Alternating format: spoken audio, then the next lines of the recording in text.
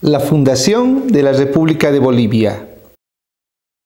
Después de 16 largos años de batalla, derramamiento de sangre y pérdidas humanas, finalmente se acercaba a la tan ansiada independencia de nuestro territorio. El camino no fue fácil, se libraron muchas e importantes batallas, muchos hombres valientes ofrendaron su vida por la libertad.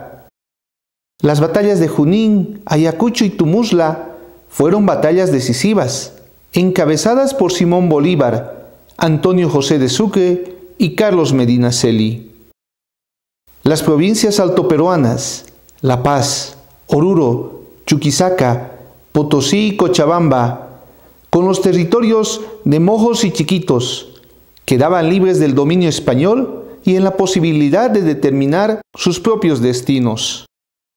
El 3 de febrero de 1825, Casimiro Lañeta y Antonio José de Sucre se reúnen en el desaguadero y posteriormente emprenden marcha a la ciudad de La Paz, donde el 9 de febrero de ese mismo año, Sucre convoca a una asamblea deliberante para definir el futuro de la nueva nación.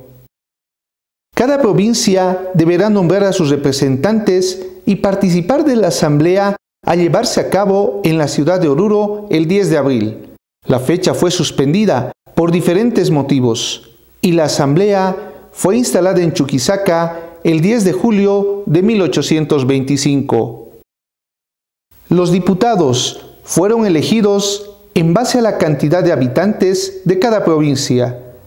Siete en representación de Chuquisaca, 12 de La Paz, 13 de Cochabamba, 14 de Potosí y dos de Santa Cruz. La asamblea estaba presidida por el diputado de Chuquisaca, José Mariano Serrano. La vicepresidencia la ocupó el diputado de La Paz, José María Mendizábal. Como primer secretario estaba el diputado de Potosí, José Ignacio Sanginés, y el segundo secretario, el diputado de Chuquisaca, Mariano Moscoso. Los únicos veteranos de la lucha por la independencia que asistieron a la cita fueron José Miguel Lanza y José Vallivián. El control político estaba en manos de los letrados. La presentación, exposición y discusión de los ideales de la nueva nación terminó el 28 de julio y días después se emitieron los votos en base a tres posibilidades. Formar parte del Perú adherirse a las provincias del Río de la Plata o constituir un país soberano, libre e independiente. La primera opción obtuvo dos votos, la segunda opción no tuvo ningún voto y la tercera opción fue aprobada por la Asamblea en pleno. Se formó una comisión para redactar la Declaración de Independencia, conformada por siete miembros, entre los que destacaban Serrano, Olañeta, Urcullo y Mendizábal.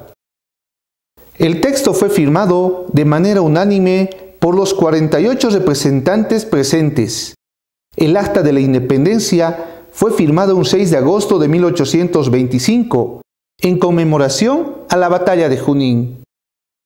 La misma asamblea decretó que el nuevo Estado llevara el nombre de Bolívar, declarado como padre, protector y primer presidente.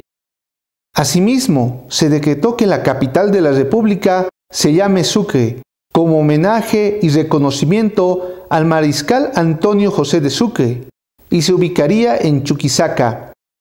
Más tarde, la nueva república pasó a llamarse Bolivia, por iniciativa del diputado Manuel Martín Cruz, quien pidió el cambio, indicando que si de Rómulo viene Roma, de Bolívar debe derivar Bolivia. No debemos olvidar que la fundación de la República de Bolivia se dio un 6 de agosto de 1825. Felicidades Bolivia. ¿Te gustó el contenido? Entonces, no olvides suscribirte, darnos un like y compartir el canal con todos tus amigos. Nos vemos en el próximo video.